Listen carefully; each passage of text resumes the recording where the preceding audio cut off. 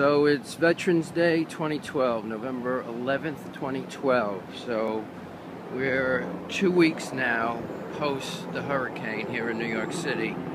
And uh, parts of New York City you never even know there was a problem. So the, this is probably going to be the last week or two where you can see the nice colors of the trees, the foliage. So we'll take a look. I'm walking west toward the river, Hudson River.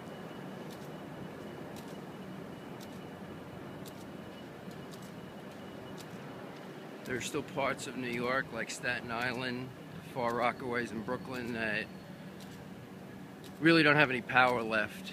Um, supposedly they're coming on soon, but who knows. Staten Island was still hit probably the hardest on the New York side, and Jersey Shore is still devastated. So.